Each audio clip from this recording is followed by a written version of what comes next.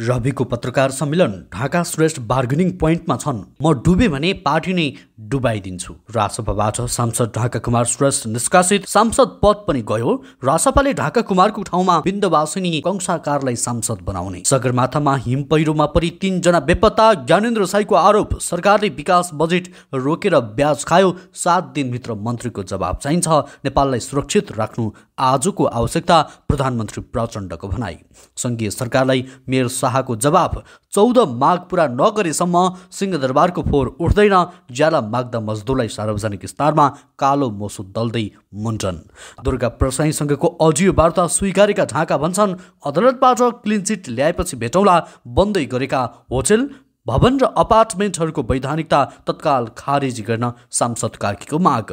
भुवन केसीप्रति जङ्गी दीपक राज चलचित्रको कमाईको रिपोर्ट गलत दिएको आरोप चितौन राष्ट्रिय निकुञ्जमा एकै दिन दुई गैडा मृत फेला। कोशी प्रदेश नाम विरुद्धका आन्दोलनकारीद्वारा मन्त्रीको घरमा पसेर तोडफोड। रौतहटमा तनाव प्रहरीद्वारा सोह्र राउन्ड हवाई फायर मोदी विरुद्ध भारतका विपक्षी एक हुँदै राहुल गान्धीसँगै देखिए नीतिश कुमार र लालु यादवका छोरा। सिरा अस्पतालमा आग लागि हुँदा बिरामीको भागाभाग एकजनाको मृत्यु चुम्बन चर्चाबीच सुरक्षा पन्तले भनिन् उहाँ फिल्म मेकर भएकाले सम्झाइरहनु पर्दैन। कोरोनाबाट थप एकजनाको मृत्यु एक सय एक्काइसमा सङ्क्रमण मिटर ब्याज पीडितले गृहमन्त्रीसँग नै वार्ता गर्दै लगायतका। अझ दिनभरका केही महत्त्वपूर्ण ब्रेकिङ न्युजको साथमा म सन्तोष उपस्थित भएको छु। पुरा समाचार महत्त्वपूर्ण भएकाले अन्तिमसम्म हेरी हाम्रो हौसला सुरु भिडियोमा एक लाइक गर्दै सक्दो सेयर गर्न नबिर्सिनुहोला। साथै यति बेला कुन ठाउँबाट भिडियो सामग्री हेर्दै हुनुहुन्छ तलको कमेन्ट बक्समा जानकारी गराउन पनि नबिर्सिनुहोला। समाचारको सुरुमा रविको आक्रोशको प्रसङ्ग। राष्ट्रिय स्वतन्त्र पार्टीले सो पार्टीका सांसद ढाका कुमार श्रेष्ठले मन्त्री बन्नका लागि रकम मागेको अडियो पुष्टि हुने निष्कर्ष निकालेको छ। छानबिन समितिको प्रतिवेदनमाथि छलफलपछि पत्रकार सम्मेलनमा सभापति रवि लामिछानेले समितिसँग श्रेष्ठले दिएको बयान विरोधाभासी रहेको र स्थिर नरहेको बताए। लामिछानेले भने उहाँको कुरामा स्थिरता देखिएन। कोर टिमबारे उहाँले प्रश्न पार्नु भएको छैन। मलाई सिद्धाइयो भने छाड्दिन पनि भन्नुभएको छ। उहाँ बार्गेनिङ पोइन्टमा आउनुभएको छ। उहाँले अडियो मेरो होइन भन्नुभएको छ। फेरि अर्कोतिर मलाई सक्ने हो भने नामै लिएर कोर टिमको कसैलाई पनि छाड्दिन भन्नुभएको छ। उहाँले भोलि प्रमाणसहित आएर जो भए पनि कारवाही हुन्छ नत्र भोलि जसको पनि नाम लिन सक्नुहोला। सभापति लामिछानेले छानबिन समितिमा ढाकाले दिएको बयानका आधारमा उनी दोषी देखिएको बताएका थिए। त्यस्तै राष्ट्रिय स्वतन्त्र पार्टी रासपाले मेडिकल व्यवसायीसँग दुई करोड मागेका समानुपातिक सांसद ढाका कुमार श्रेष्ठलाई कारवाही गरेको छ। बुधबार बसेको बैठकले श्रेष्ठलाई पार्टीको साधारण सदस्यबाटै निष्कासन गर्ने निर्णय गरेको हो। यो सँगै उनको सांसद पद जाने भएको छ। श्रेष्ठले बिएनसी मेडिकल कलेजका सञ्चालक दुर्गा प्रसाईसँग दुई करोड मागेको अडियो आइतबार सार्वजनिक भएको थियो। जनवरीमा भएको उक्त संवादमा श्रेष्ठले आफू स्वास्थ्य मन्त्री बन्न लागेको र त्यसका लागि कोर टिमलाई बुझाउनु पर्ने भन्दै मेडिकल व्यवसाय प्रसाईसँग दुई करोड रुपियाँ मागेका थिए। यो अडियो सार्वजनिक भएपछि राजसभाको अनुशासन समितिले श्रेष्ठसँग स्पष्टीकरण सोधेको थियो। बैठकमा श्रेष्ठले अजियो आफ्नो होइन भनेको सभापति रविले बताए। उनले अघि भने पार्टीले गरेको छानबिनमा त्यो अजियो उहाँकै हो। त्यसमा पैसा मागिएको छ। सांसदले त्यसरी माग्नु कारवाहीका लागि यथेष्ट छ। उनले श्रेष्ठले पटक पटक बोली फेरेको र बार्गेनिङमा उभिएको आरोप समेत लगाए। उनले अघि भने पार्टीले नगरिदियोस् गर्यो भने म देखाइदिन्छु भन्नुभएको छ। त्यस्तै राष्ट्रिय स्वतन्त्र पार्टीका सांसद डाक्टर ढाका कुमार श्रेष्ठले पार्टीलाई उपनिर्वाचनमा हराउन आफ्नो अडियो सार्वजनिक गरिएको बताएका छन्। बुधबार पार्टी केन्द्रीय कार्यालयमा सञ्चारकर्मीहरूसँग कुराकानी गर्दै उनले अडियोमा सत्यता नरहेको र एडिटिङ गरेर बनाइएको दावी गरेका हुन्। उनले जनवरी फेब्रुअरीको अडियो अहिले सार्वजनिक गर्नु पार्टीमाथि प्रहार गर्ने सुनियोजित षड्यन्त्र भएको पनि दावी गरे। उनले आफू यस विरुद्ध न्यायालय पुगेर न्यायबाट सफाई पाएपछि पुनः पत्रकारहरूसँग कुराकानी गर्ने पनि बताएका छन्। त्यस्तै राष्ट्रिय स्वतन्त्र पार्टीले डाक्टर ढाका कुमार श्रेष्ठको साधारण सदस्यता खारेज गरेपछि उनको ठाउँमा बिन्दवासिनी कंसाकारलाई सांसद बनाउने भएको छ। बुधबार बसेको पार्टीको केन्द्रीय समिति बैठकले डाक्टर श्रेष्ठको साधारण सदस्यता खारेज गरेको हो। पार्टीको सदस्य नरहेपछि श्रेष्ठको सांसद पद पनि रहने छैन। समानुपातिक पद्धतिबाट निर्वाचन भएकाले रासपाले श्रेष्ठको ठाउँमा अर्को व्यक्तिलाई संसदमा पठाउन पाउँछ। सभापति रवि लामिछानेले श्रेष्ठको ठाउँमा मकवानपुरकी कंसाकारलाई सांसद बनाउन बनाउने निर्णय भएको पत्रकार सम्मेलनमा जानकारी दिएका छन्। कंसाकारलाई राजसपाले दुई महिना अघि केन्द्रीय सदस्यमा मनोनित गरेको थियो।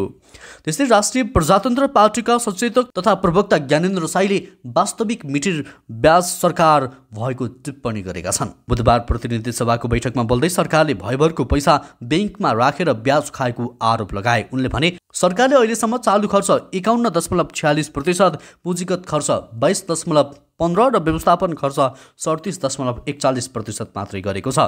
भयभरको असारमा मात्रै खर्च गर्ने सरकारले अझै अठहत्तर प्रतिशत पुँजीगत खर्च गर्न बाँकी छ। भयभरको पैसा ब्याङ्कमा राख्ने र ब्याज खाने यसले गर्दा वास्तविक मिटर ब्याजी कोही छ भने सरकार हो।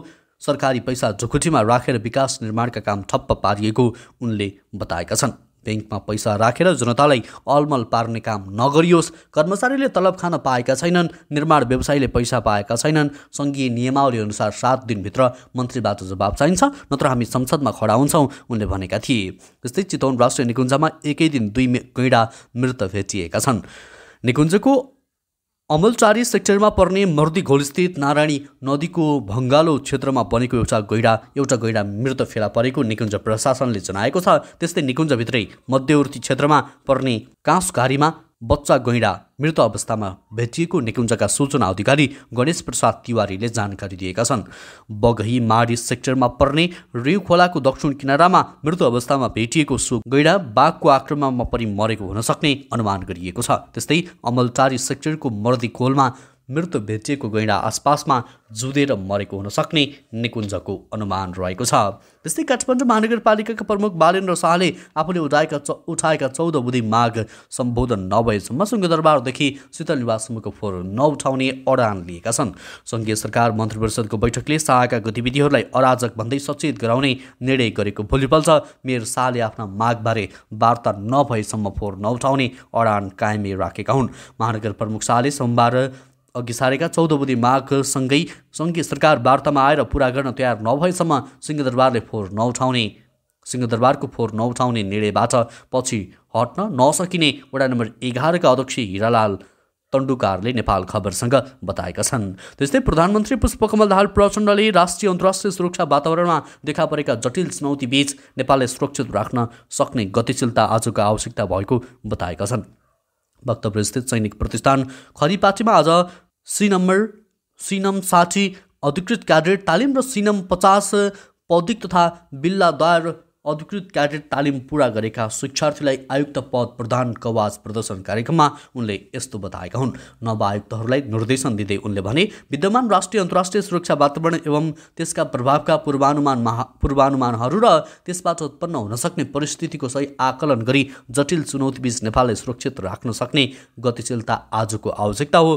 दाहालले भनेका थिए। त्यस्तै सगरमाथामा गएका तिनजना आरोही हिम पहिरोमा परि बेपत्ता भएका छन्। आज बिहान नौ बजेबाट हराइरहेका ती आरोहीको खोजी कार्य भइरहेको पर्यटन विभागले जनाएको छ। विभागका पर्वतारोहण शाखाका निर्देशक युवराज खतिवडाले दाछिरी शेर्पा लाक्पा चन्जी त्यस्तै शेर्पा लाक्पा रिता शेर्पा नामका आरोही हराएको जानकारी दिएका छन्। कतिवटाले भने उनीहरू बेस क्याम्पबाट क्याम्प वानको बिचमा बेपत्ता भएका छन्। सिमरिक एयरको हेलिकप्टर मार्फत खोजी गरिरहेको छ तर अहिलेसम्म भेटाउन भने सकिएको छैन।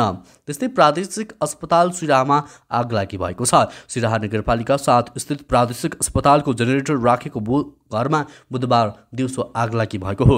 अस्पताल स्रोतका अनुसार विद्युत सर्ट भएर दिउँसो दुई बजे आगलागी भएको हो। आगलागी हुँदा बिरामीहरूको भागाभाग भएको थियो। बिरामीहरूको भागाभाग हुँदा अस्पतालमा डायलाइसिस गर्न पुगेका एकजना बिरामीको मृत्यु भएको छ। सिराहाको बरियार बरियार बरियारपछि गाउँपालिका तिन खोक्सी बस्ने मृगौलाका बिरामी साठी वर्षीय प्रदीप दासको हिमोग्लोबिन कम हुँदा उपचारकै क्रममा निधन भएको हो।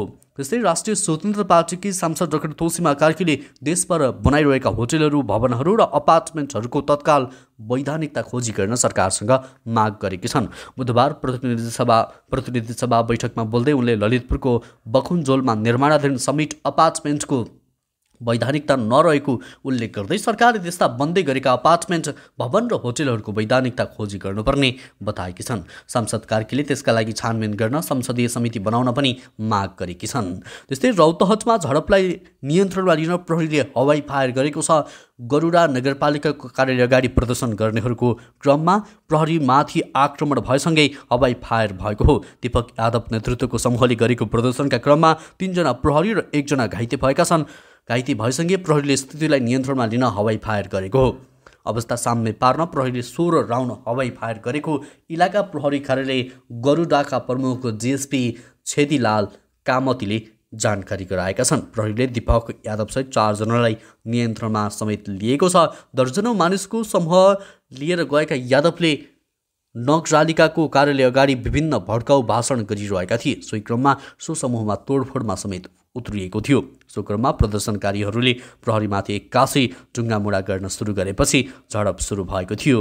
त्यस्तै कलाकार दीपकराज गिरी चलचित्र विकास बोर्डको व्यवहारप्रति असन्तुष्ट भएका छन्। सामाजिक सञ्जालमा स्टाटस लेख्दै उनले बोर्डसँग असन्तुष्टि पोखेका हुन्। आफ्नो चलचित्रको कमाइबारे गलत रिपोर्ट दिएको भन्दै उनले असन्तुष्टि व्यक्त गरेका हुन्। उनले भनेका छन् चलचित्र विकास बोर्डमा हाम्रो फिल्मको कमाइको गलत रिपोर्ट सार्वजनिक भएको छ।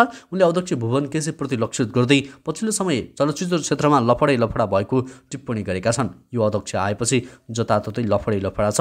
हाम्रो क्षेत्रमा उनले थपेका छन्। त्यस्तै मौतरीमा ज्याला माग्न जाँदा मजदुरलाई कालो मुसो र कपाल मुन्चन गर्ने ठेकेदारलाई प्रहरीले नियन्त्रणमा लिएको छ। महोत्तरीको लोहरपट्टी नगरपालिका छका चौतिस वर्षीय ठेकेदार कृष्ण मिश्र भनिने आनन्द भूषण मिश्राले स्थानीय एक्काइस वर्षीय मजदुर मोबारक नदाफलाई चोरीको आरोप लगाएर लोहरपट्टी चोकमा बोलाएर कालो मोसो दली मुण्डन गरेको साथै कुटपिट गरेका थिए। चैत तेइस गति उनलाई कुटपिच गरेको घटना सार्वजनिक भएपछि महोत्तरी प्रहरीले मिश्रोलाई नियन्त्रणमा लिई मुद्दा चलाएको थियो।